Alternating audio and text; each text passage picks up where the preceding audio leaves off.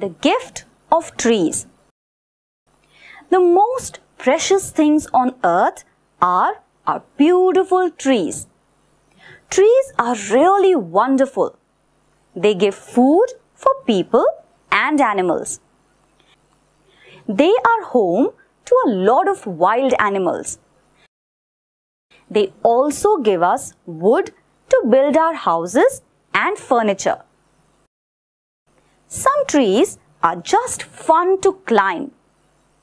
Did you know that trees play a very important role in the environment? Without them, the earth would be in big trouble. Trees clean the air we breathe and make oxygen.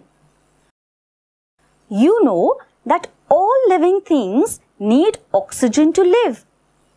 As animals and humans breathe out, they give out carbon dioxide.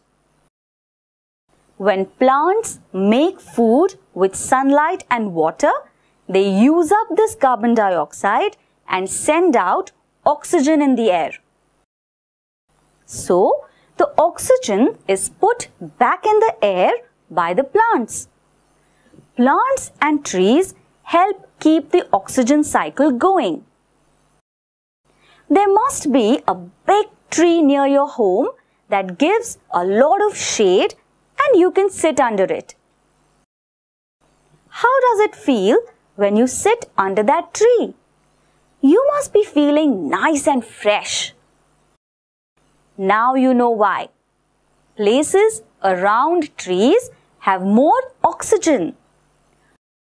Trees are an important part of the water cycle. Trees help us get rain. Roots of trees take in water from the soil. The leaves return water to the air as water vapor. The water vapor in the air can become clouds filled with rain. The rain falls back to the ground as water. Trees protect the soil. When it rains, soil can be washed into lakes, streams and rivers. Tree roots hold the soil and it does not get washed away. Water is also much cleaner when there are a lot of trees around. Their leaves, trunk and roots are natural pollution filters. Trees can help people conserve energy. Trees that are planted around your home provide shade in the summer making your home cooler.